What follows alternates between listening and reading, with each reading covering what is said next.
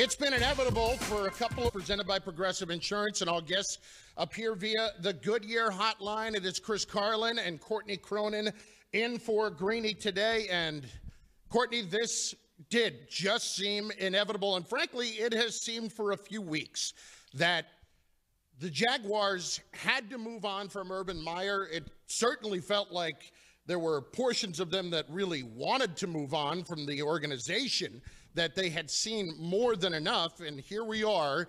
He is out after just 13 weeks, one of the most successful college coaches of all time, not getting it done in the NFL, primarily because he created so many stupid dramas himself through narcissism. I mean, we've talked about the last week or so, this was all boiling over and coming to a head, and that eventually Shad Khan was going to have to do something. But this goes back to the time he was hired, Chris. Think about misstep after misstep, going back to when he hired Chris Doyle, the disgraced strength and conditioning coach from Iowa the guy resigns a day later, then there's all of the stuff during OTAs. They get fined because they have too intense practices. They lose OTAs for the next season.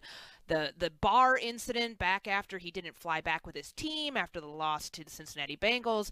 Has he did he do one positive thing in Jacksonville? Like when we look back at Urban Meyer's time, will there be one singular thing that we can pull out and say, "Hey, he didn't screw this up." Honestly, I can't think of anything right now. I don't know if you can off the top of your head because it's been marred by such chaos and such calamity since the moment he he stepped foot on on the, into the facility in Jacksonville back in you know nine months ago. But the only thing you can say is that he drafted Trevor Lawrence, and you can't even give him credit for that because anybody the most obvious thing Trevor to do.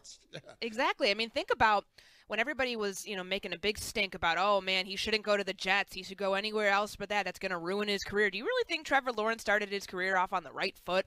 With the Jacksonville Jaguars, I mean, my goodness, everything that he said yesterday when he's talking about, hey, there's too much drama around this team. Of course, college football teams have drama, NFL teams have drama. But do you think that that sparked a little bit more uh, urgency in Shad Khan's mind to maybe try to right the ship?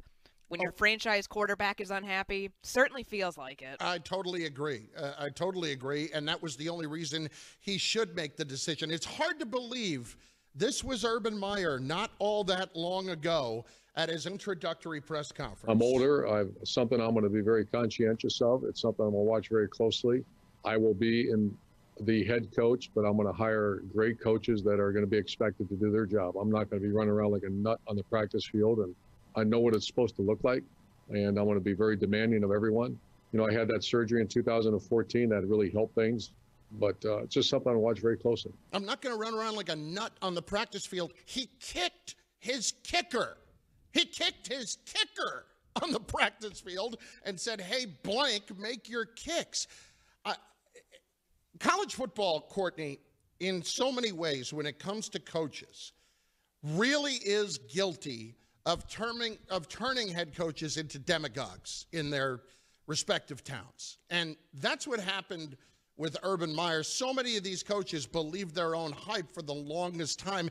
And even leaving in disgrace as he did from Ohio State has this feel to it of well they still won titles with him. They still had a ridiculous record with him. It's almost like in his own mind that that never happened. It never it all got washed away. And what you saw this year. You talk about hiring the right coaches. He's pointing around the room calling his coaches losers. What have you ever won? You hired them brother. You hired them. It has to at some point be your fault. Yeah, I mean the hubris. Like, hmm. my goodness, the, the the thought that you could come in, and this is my problem with NFL coaches who get head coaching jobs and have never coached a day in the NFL. You don't understand what it takes. Not even being, you know, when you think about coaches who go so quickly from being a coordinator in the NFL, defensive or offensive, like a Brandon Staley, for example. There were a lot of people who thought he was going to fail in his first couple years as the Chargers head coach. Well, at least he had NFL experience before taking a head coaching job. Like, you just cannot make that jump as successfully as it seems on paper. Like, I won in college, I should be able to win in the NFL. It is completely different. You are dealing with grown men, you are dealing with adults who the shtick that you that you used in college doesn't work on people who make millions of dollars to do their jobs just like you do. You have equals effectively at that point. You, technically, you have people who run the show more than you do with a franchise quarterback and somebody who you spent a number one overall draft pick on in Trevor Lawrence. Has a lot more power at the end of the day than an Urban Meyer. And I think people like Urban Meyer have trouble with that when you have been the king, the god, everywhere you have been, and you left your last two places in disgrace with Florida and the situation that he left there with like legitimate criminals that he recruited, that he had on his football team, and then think about what he left at Ohio State with the entire situation with domestic violence with one of his assistants. And then all of a sudden he thinks that that stuff doesn't matter anymore and that his legacy is not going to be tarnished no matter what he does. Like this was anybody with a brain could have figured out that Urban Meyer was going to fail in the NFL because of the way that he failed at his last two stops. He wins aside, the legacy that he left at Ohio State, the way he left on the way out there, the way he left on the way out at Florida. I think that that was 100% an indicator that this wasn't going to exactly go smoothly because this is somebody, when he hits a bump of turbulence, everything collapses. This is Straight Talk brought to you by Straight Talk Wireless. The, the other part here is yet again, another college coach with that inflated sense of self coming into the league and not understanding that it is completely different than in college. That it is it is not being a CEO type situation. It's coaching football, and that's it. And it's funny. I, I kind of think back to uh, preseason during Hard Knocks when the Cowboys were playing the Jaguars, and they had Mike McCarthy mic'd up, and he's talking to Urban Meyer before the game, and uh, you know he says, "How how you adapting to it so far?" He's like, uh, it, "It's good. It, it's just coaching football." Yeah, and it's treating guys like adults, and it's uh, not walking around and acting as if everything you do will control their ultimate destiny as players, like that, like it possibly could have in college. Less so now when he, than when he was there, but he certainly had that ability to control whether or not a player had a future playing football.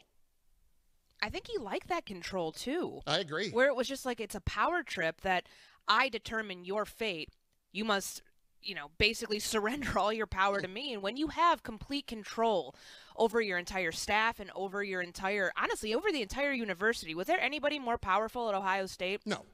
Than the head football coach, current or former? No, there's not.